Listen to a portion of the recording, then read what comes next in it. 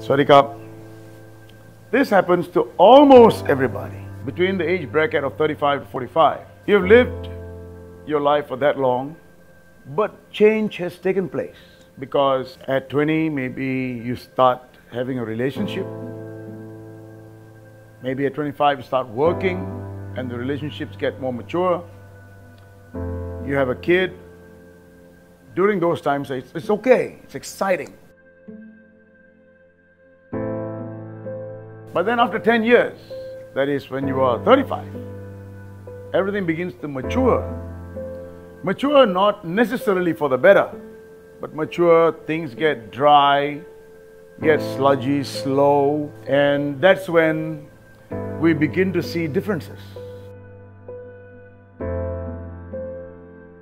Arguments, fights, over expenditure, expenses go up. The kids, they were who were very exciting in the beginning, so you sort of lose them.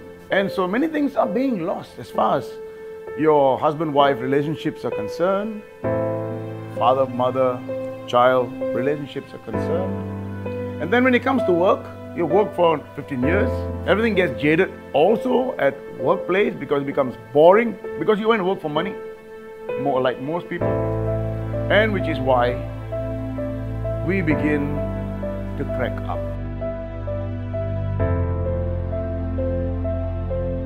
It is possible for all of us to get past this 35, 45 hump and live blissful lives in this three days called Finding Life Purpose and Passion. It is absolutely free. Come with yourself and whoever you know to live this period of time in your life blissfully.